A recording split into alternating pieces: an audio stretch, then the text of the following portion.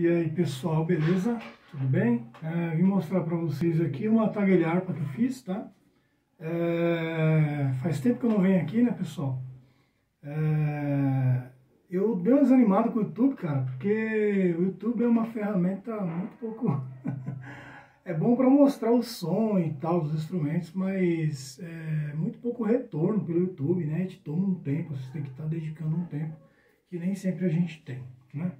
Então, vim mostrar aqui esse instrumento, que é uma taguelharpa em laminado, tá, pessoal? É, isso aqui é uma taguelharpa tipo cello, né? É uma taguelharpa cello ou cello, ou cello harpa, né? É, isso é uma taguelharpa de três cordas. Tem...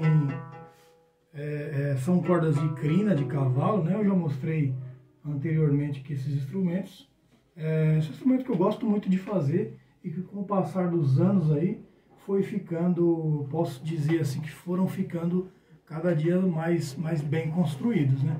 Devido à própria experiência com o tipo de instrumento. Você vai adquirindo experiência e vai cada dia melhorando mais os seus instrumentos. Isso é prática, né? É prática em construção, principalmente, e prática em, em, em, em melhorar aquilo que já foi construído, né? Uma questão de exercício mesmo da construção. É, isso é uma taguelharpa em laminado, ela está disponível aí no Mercado Livre, tá? para quem quiser ir lá dar uma olhada. É, ela tem uma escala em cedro, né? com embuia, né? colei faixas de embuia em cima aqui, ó. ficou bem bonito. Então ela tem uma escala em cedro e embuia, aqui também é, é, é embuia, né? Não sei se dá para perceber aqui, mas aqui também é embuia ela tem cravelhas de jacarandá, né? Tem um cordal também em embuia, né? Aqui tem o cordão que prende esse cordal, ele é um material sintético, tipo de, de nylon, tá? Aí tem um cavalete em abeto, né? É, e tem um tampo, o tampo é laminado, laterais, né? A montagem interna é, são pedacinhos de, de cedro, de, de embuia, que eu também uso para montar fazer a montagem interna. Eu tenho um outro vídeo onde eu mostro o som, tenho dois vídeos na verdade, vou depois colar tudo junto e aí coloco na, na, na no YouTube aí para vocês poderem ver o som. Eu dei uma breve afinada nela, tá pendurada aqui, tá bastante frio, então o que, que acontece com isso? É muito frio, acaba o instrumento varia muito a afinação, né? Você afina agora, daqui a pouco está desafinado de novo. Essa mudança de temperatura para frio, calor, toda hora muda. Né? São Paulo é um lugar meio instável nesse sentido.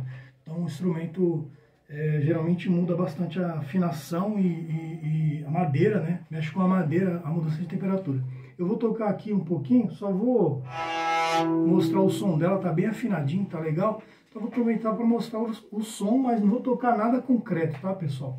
Até mesmo porque eu não sou especialista em tocar esse instrumento. Tocar requer uma parte didática de extenso estudo onde você tem que se dedicar a isso. E me falta tempo para tocar, mas é um instrumento incrível que eu tenho praticado até aqui bastante, principalmente nessa aqui, que já está pronta faz um tempo, e eu estou usando ela aí para tocar. mas ela está à venda, está pronta entrega no Mercado Livre. Eu tenho outra aqui, ó, essa aqui é incrível, essa aqui, está ficando pronta.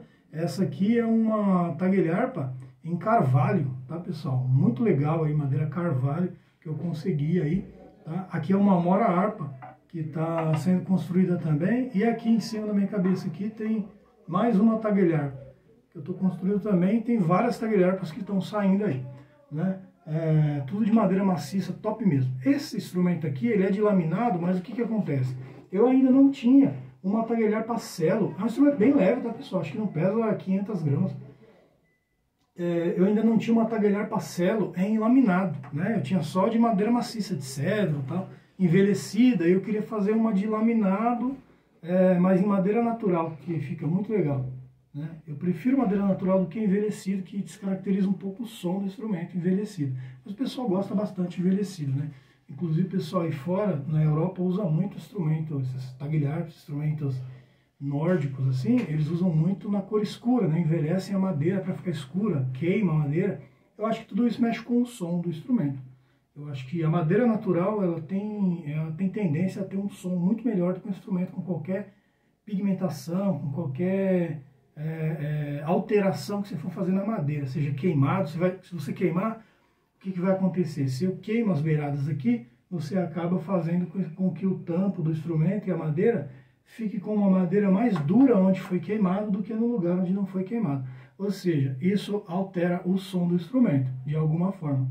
Tá? É, a madeira mais dura, ela tem tendência a ter o som mais agudo, tá bom? E a madeira, ela mais maciça, né? É, tipo pinho, algum tipo de pinho, né? Pinho do Oregon, abeto, cedra canadense, essas madeiras ela tem tendência a ter um som.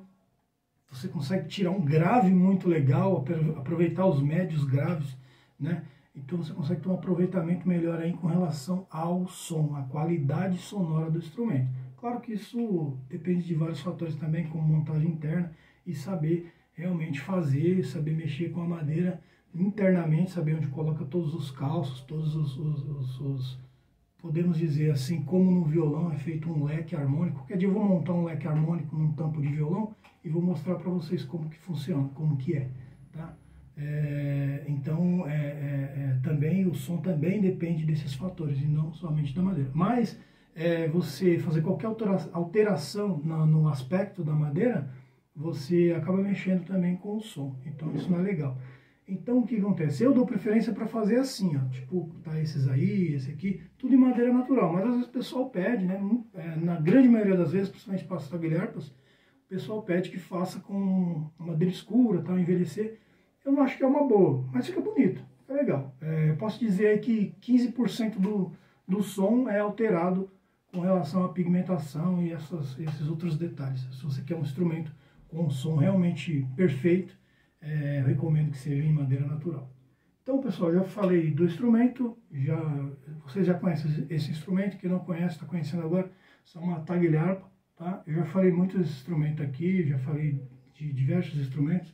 Eu tenho me concentrado bastante nos instrumentos europeus, eu acho muito legal, é uma coisa que eu queria trabalhar há muitos anos e eu consegui chegar a um ponto onde eu consigo estar é, é, é, tá produzindo é, diversos instrumentos, né? não só a taguilharpa, então, é um ponto fundamental onde eu queria realmente chegar, que é trabalhar com esse tipo de instrumento aqui, que pouca gente trabalha e pô, acho muito legal, faço isso com muito carinho e eu trabalho pelo carinho mesmo. que é rico a gente não fica mais no Brasil, né? Infelizmente. Infelizmente não, acho que nunca ninguém ficou rico trabalhando aqui, mas faz parte.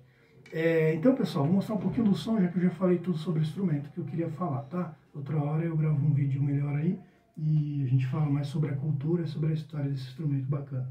Vou mostrar um pouquinho do som, mas depois eu vou cortar esse vídeo e colocar no, no, no canal com outros vídeos eu tocando também. Então, o som do instrumento é esse.